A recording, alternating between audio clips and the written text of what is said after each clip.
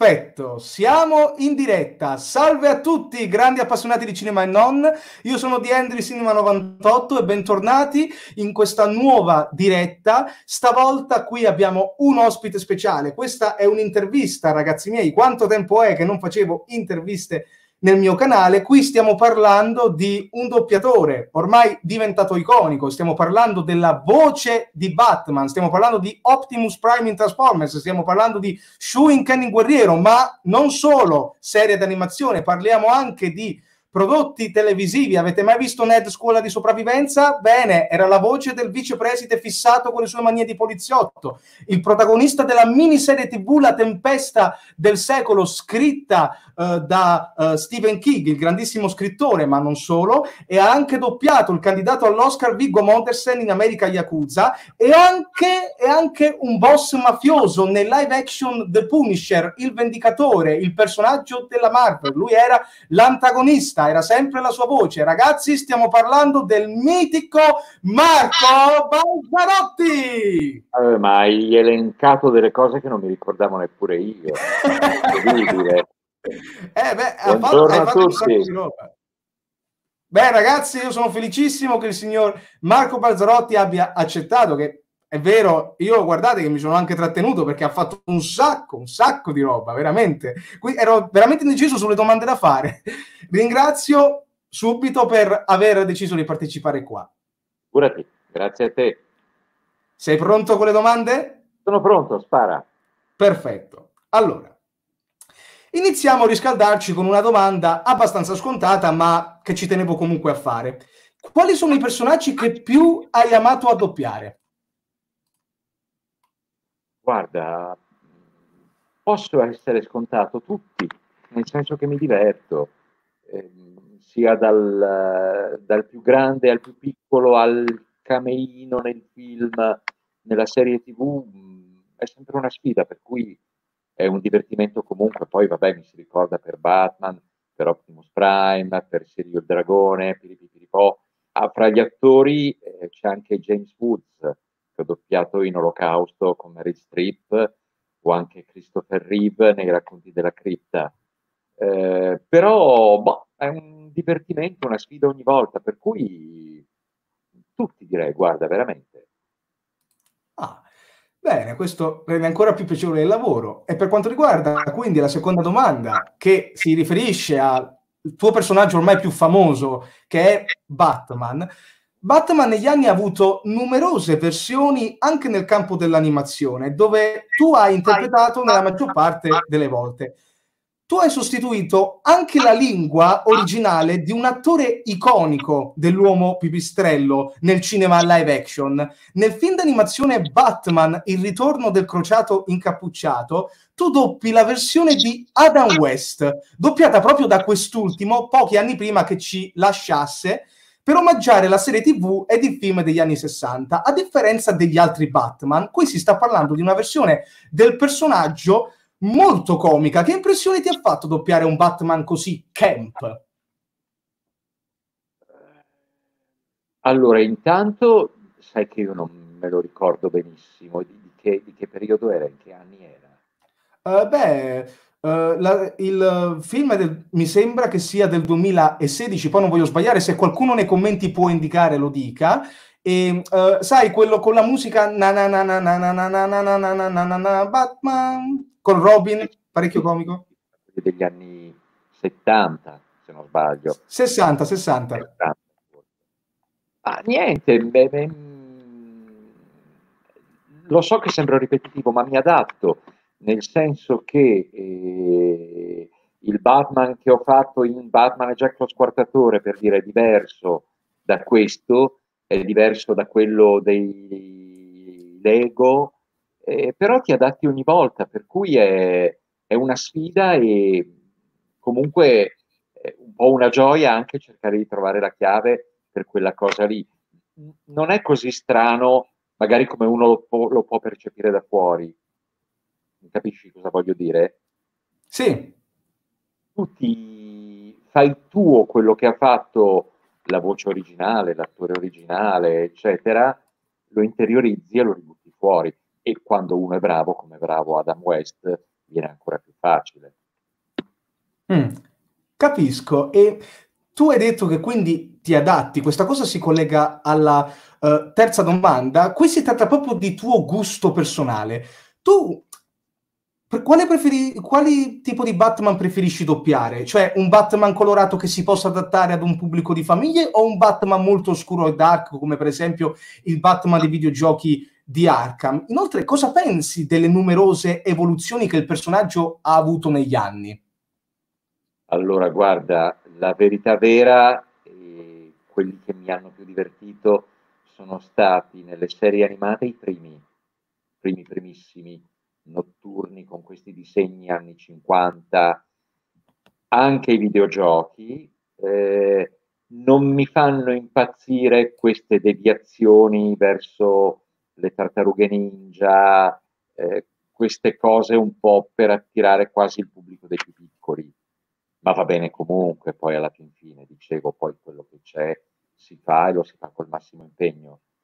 E se dovessi per forza scegliere, direi appunto i primissimi, che se non sbaglio erano prodotti da Steven Spielberg, e comunque il Batman dei videogiochi. Mm. Bene, bene. Questa è una cosa molto interessante che poi si collega ad un'altra parte del personaggio, che sarà anche l'ultima domanda, ma prima di farti l'ultima domanda sul personaggio di Batman, eh, un nostro spettatore ha confermato che la data del film d'animazione con Adam West del 2016 e ci saluta il regista Fabrizio La Monica. Sta dicendo, oh. vi sto ascoltando, ciao ragazzi, che bel regalo. Salutamelo anche tu, anzi lo saluto io direttamente. Ciao Fabrizio. perfetto, perfetto. E allora conce- concentriamoci adesso sull'ultima eh, domanda sull'uomo pipistrello. Um, ci sono tanti film d'animazione sul personaggio che in Italia, a differenza di tutti gli altri paesi, non sono arrivati. Parliamo di film come Il ritorno del Cavaliere Oscuro, tratto dalla grandissima opera di Frank Miller, Batman Bad Blood, The Killing Joke, tutti basati su opere eh, amatissime, ma evitate dalle distribuzioni nostrane perché sono violente e destinate ad un pubblico maturo, mentre film colorati come Batman Ninja arrivano in Italia senza problemi. Tu cosa pensi di questa mentalità dei distributori?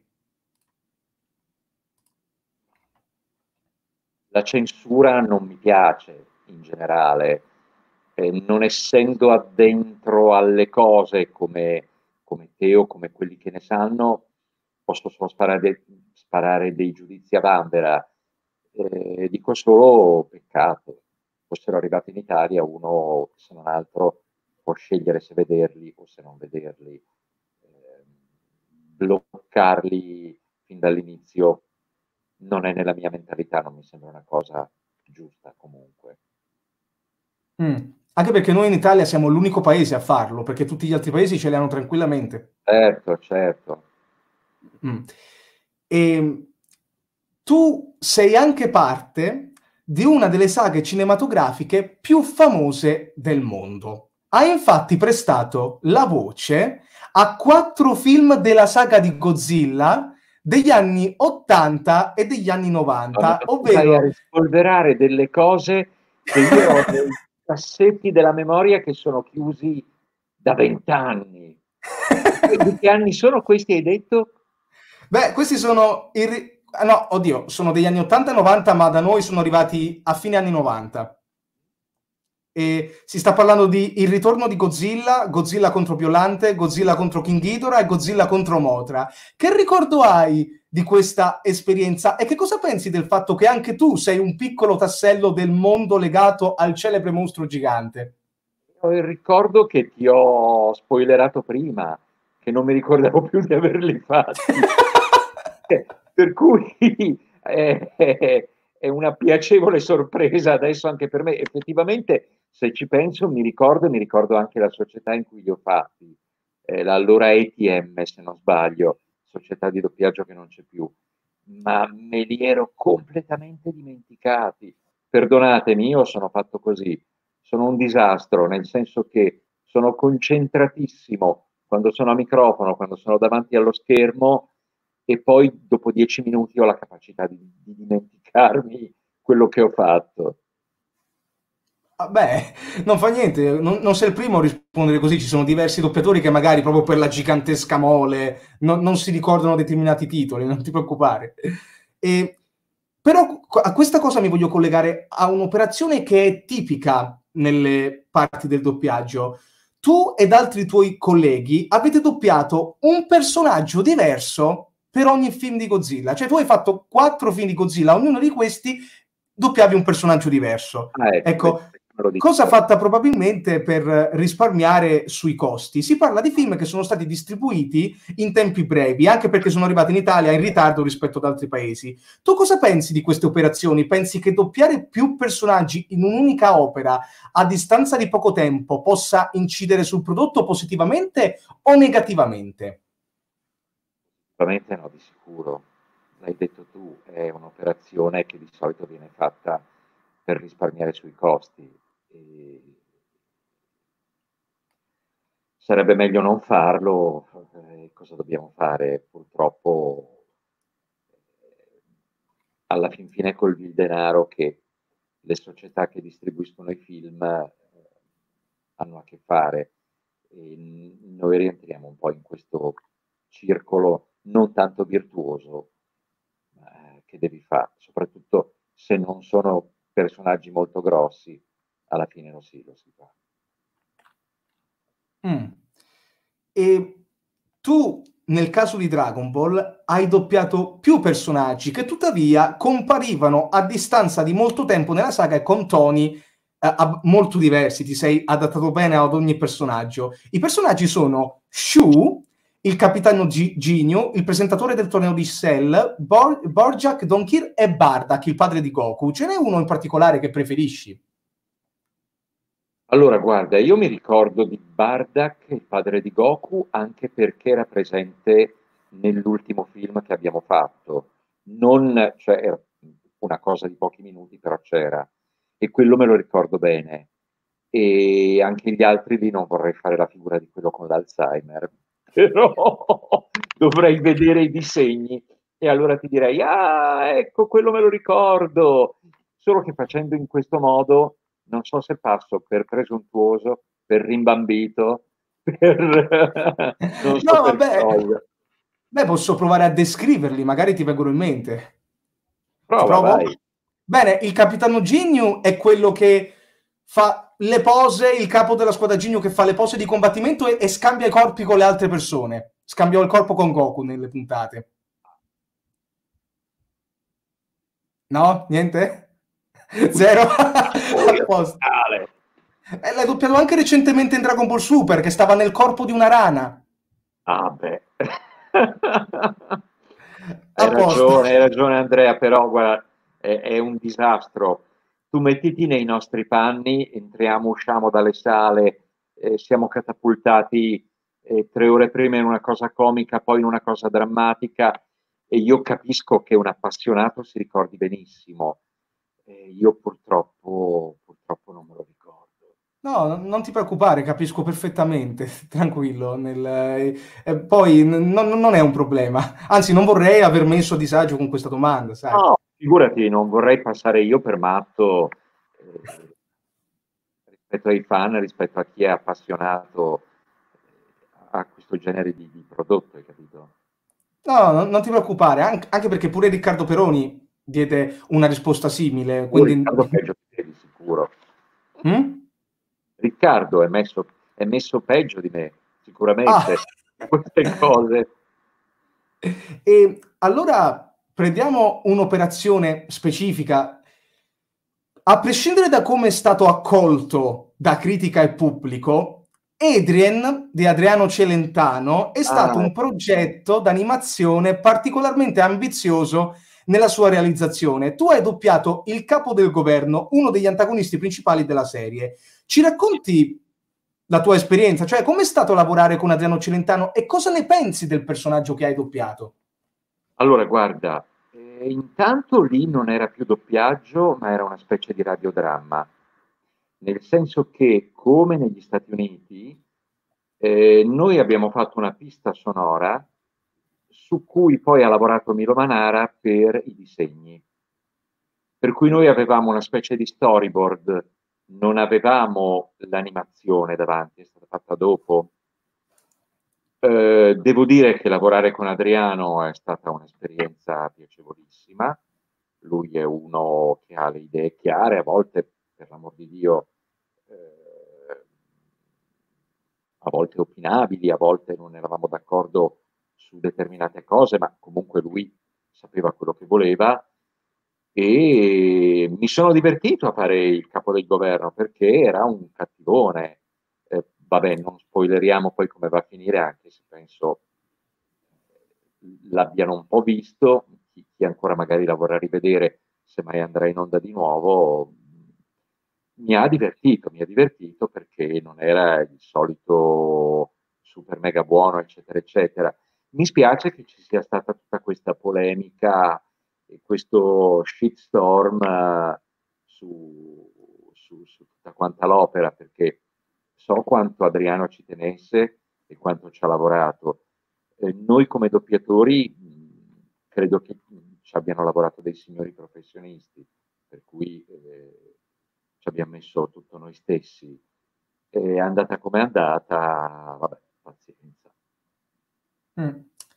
Eh sì, è, è un vero peccato perché di base l'idea era interessante non poco, eh, perché molta gente... Secondo me è stata creata forse un po' troppa aspettativa, per cui poi alla fine la gente si divertiva a smontare la cosa. Non vorrei magari tirare fuori delle opinioni strane, però sono andati talmente a bombardamento a tappeto mesi prima su questa cosa qui poi forse l'approccio iniziale di fare una specie di cappello con lo show dove lui ha deciso di non partecipare per motivi suoi, la gente voleva vedere lui una cosa e l'altra, insomma ha un po' mandato a, per aria il castello di carte.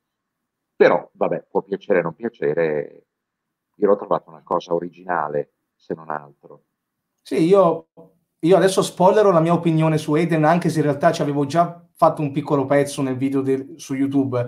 Io non, non, la considero perfetta, penso che abbia molti difetti, però penso che abbia anche dei pregi interessanti su certi discorsi e su certe parti, anche se comunque non la trovo per niente perfetta. Capisco certe critiche, però tutto questo accanimento, mio Dio, cioè, c'è molto di peggio cioè, nel, nell'arte televisiva e cinematografica, quindi non lo so, ade- adesso verranno i commenti a distruggermi, però vabbè, fa niente.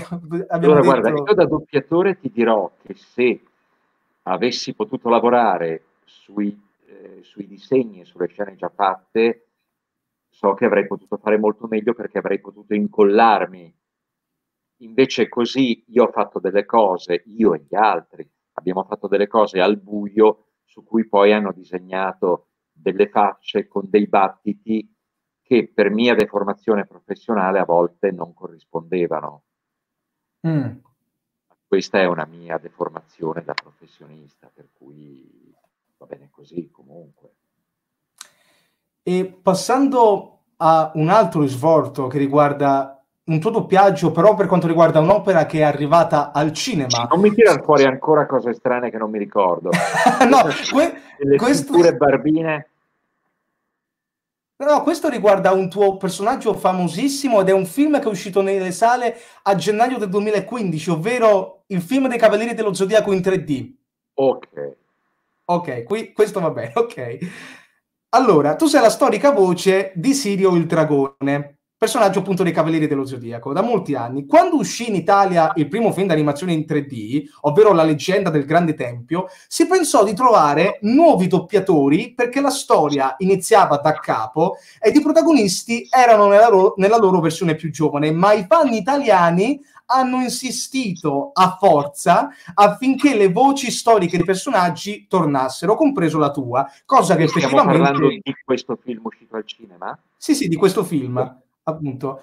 Tu che cosa pensi di questa cosa? Cioè, c'è stato un momento in cui hai pensato, però forse potrei lasciare la palla a qualcun altro, o sei stato immediatamente felice di questa scelta? Io quando vengo scelto per una cosa sono contento. E devo dire che all'inizio ero un po' stranito dal fatto di dover dare la voce comunque a un personaggio molto più giovane di me. Poi, se l'hanno voluto dalla, dalla base, da chi conta, e se sono stati contenti del risultato va bene così.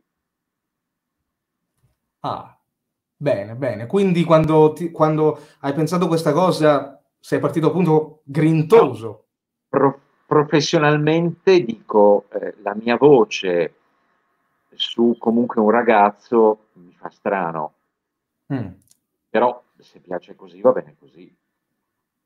Parlo contro i miei interessi, naturalmente. certo.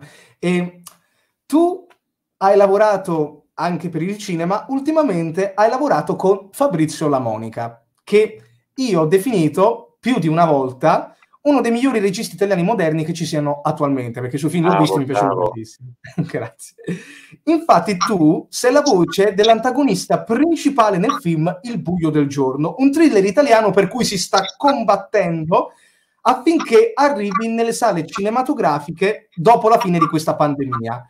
Come è stato lavorare con Fabrizio Lamonica e perché hai deciso di prendere parte al progetto? Allora, tanto Fabrizio un po' per volta è diventato un amico, per cui già, già ci tengo a dire questa cosa. Ho deciso di partecipare al progetto perché mi sembrava, quando Fabrizio me l'ha proposto, interessante. Ho visto le sue cose precedenti, le ho trovate molto belle, molto piene di, di, di, di cose da tirar fuori e se nel mio piccolo posso dare una mano mi sembra quasi una roba da presuntuoso, però posso partecipare a un progetto indipendente eh, che comunque mi sembra abbia delle potenzialità, eh, mi ci sono buttato subito, ho detto ma perché no? E adesso volendo possiamo fare gli stronzi e spoilerare tutta la trama del film. Così Fabrizio ci odia. Tutta una bomba. E beh, anch'io ci rimane male perché io voglio essere uno spettatore che vuole vedere questo film e che lo attendo particolarmente. Però fidatevi, no. ve lo dico io, è bello, bello, bello. Bisogna assolutamente muovere di tutto e poi mica ci sono solo io, ci sono dei signori attori bravissimi, c'è Stivaletti per gli effetti speciali, eh, c'è Fabrizio che appunto l'ho detto prima, bravissimo in tutto, musiche bellissime è, è tutto un insieme fantastico, bisogna farlo uscire al cinema a, a tutti i costi, assolutamente. Infatti, ragazzi, parte la campagna. Andate a conoscere i lavori di Fabrizio Lamonica e sostenete questi progetti italiani perché abbiamo bisogno di cinema italiano che va a fare qualcosa di diverso. Basta solo commedie e drammi, che per carità bisogna vederli, però ci vuole anche varietà, ci deve essere possibilità di scelta, soprattutto se in questa scelta c'è così tanta qualità, perché Fabrizio Lamonica la offre. Assolutamente d'accordo. Fabrizio, allungami le 100 euro. ok. Aspe- posso dare l'Iban sotto? Lo puoi digitare tu? Fabrizio, ci sei? Fabrizio Vabbè. ci ha appena risposto, ha detto sei matto Andrea, grazie, e ti, ha, e ti ha scritto questa cosa. Ecco quello che c'è scritto sullo schermo. Vabbè, ok, lo sapevo. È solo un come si dice, un reminder, una, una cosa da ricordare. Vabbè, okay. lo fisso qui. Perfetto. E, ok, passiamo ad un'altra domanda riguardante questa professione. Cosa hai da dire a chi vuole diventare attore? Uh, che domandona. Cosa ho da dire a chi vuole diventare attore? In questo particolare periodo storico mi viene da piangere perché tutto fermo, ok, Italia, tutto il mondo, però cosa da dire?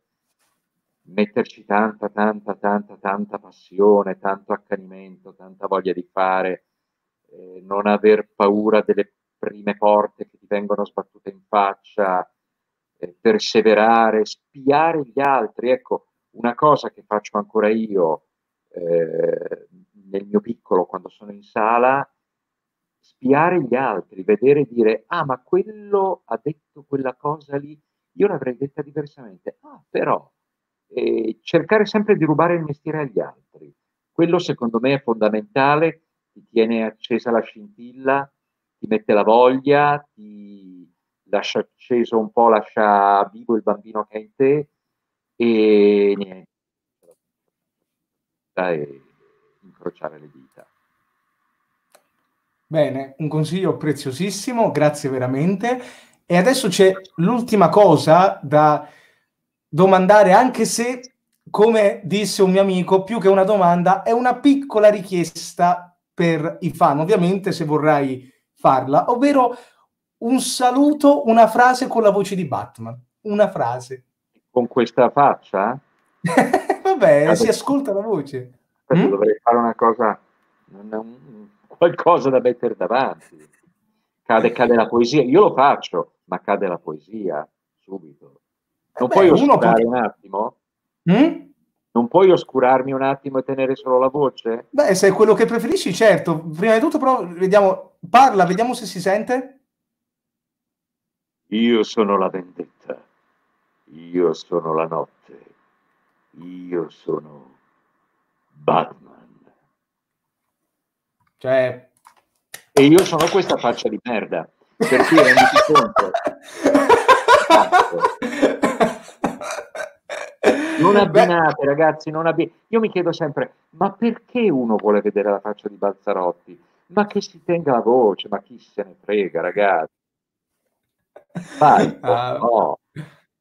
è, è, meraviglioso. È sta, è sembra, questa, tutta questa parte sembra un misto tra il Batman classico e Adam West per come è finito. Ma sai che io tanti anni fa ero in coda col carrello al supermercato e incrocio questo mio ex compagno del liceo con i suoi figli e gli leggo dal labiale, intravedo che lui dice a uno dei figli, ma sai che lui è Batman? E uno dei figli mi guarda e fa, ma... per cui voglio dire, basta, la parola fine a questo punto è, è quello che ci vuole. Quindi tu non scenderesti come ha fatto Kevin Conroy, che è stato chiamato per fare un Bruce Wayne anziano? Non, non lo faresti? Ah no, ma io sono una voce nel buio, io devo rimanere nel mio stanzino buio con la luce che batte sul copione e sul leggio e la mia dimensione è quella, cioè io eh, ti dicevo già prima nel backstage, sono un po' a disagio a far vedere la mia faccia brutta, non ha, non ha senso. No, mi conoscete come voce, secondo me cade anche un po' la poesia, sbaglio. Quindi anche, per, quindi anche per questo che hai voluto divent- puntare soprattutto sul doppiaggio? Ah, è stato un caso perché in realtà ero in compagnia con questa doppiatrice allora già abbastanza famosa e che mi ha un po' gasato dicendo hai una bella voce perché non provi.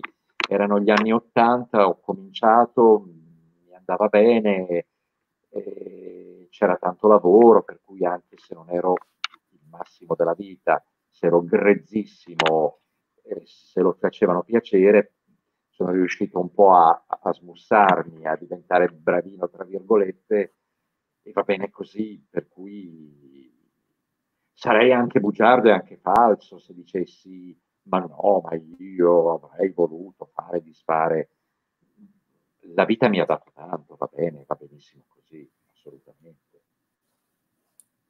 Bene, mi fa molto piacere che lei sia riuscito a diventare doppiatore perché ha potuto eh, perché tu hai lei, di colpo? Eh, scu- oh, eh, scu- l'abitudine chiedo scusa eh, ragazzi se voi avete visto le domande scritte con il lei è perché io già partivo del fatto ecco adesso gli do del lei gli do del lei invece è partito con questo tono amichevole dicendo dammi del tuo io sono felicissimo perché è ancora è più comodo possiamo darci del voi come i conti il marchese e il conte così la, la facciamo ancora un po' più Vogliamo, fa- vogliamo, trasformare questa intervista in una bella, in una bella commedia tra uh, marchesi, in pratica. Ditemi, oh Andrea, porgete la domanda a cui io sarò lieto di rispondere con grazia. Vorrei porgerle la domanda, signor Marco Balzarotti, però c'è un piccolo uh, problemino, ovvero che le domande sono finite, l'intervista è finita. Ah, la la la la. Vabbè. Ti ringrazio tantissimo di, della tua disponibilità. Grazie alle persone di averci guardato, anche se adesso altre persone arriveranno per vedere l'intervista dopo appunto alla fine della diretta. Grazie sia a quelle persone che sono arrivate dopo sia a quelle che ci hanno seguito. Grazie veramente a tutti e ringraziamo soprattutto il mitico Marco Pazzarotti quello che riesce a uh, volare per i tetti e a salvarci dai criminali con la sua voce da Batman adesso prendo il farmaco per l'artrite reumatoide e poi mi rilancio di nuovo ok allora, un saluto, un saluto a tutti. Ciao, Ciao ragazzi. Ciao.